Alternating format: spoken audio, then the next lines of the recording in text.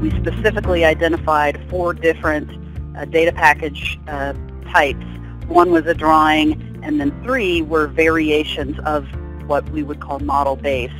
We actually only have 34% that are uh, drawing exclusive, and then the rest of it is actually some format of model-based. Now, that came in three formats. The first is drawing with a model, which means they're, they're putting all the uh, GD&T or the geometric dimensioning and tolerancing, the material information, surface finish, administrative information such as the part number and description. That information is still housed on the 2D drawing and then they're also sending a 3D model, whether it's a native of, of whatever format, Creo, SolidWorks, um, CATIA, NX, Inventor, or they're sending a downstream derivative, a step file, a JT file, some other translated 3D format. That's actually running at 33%.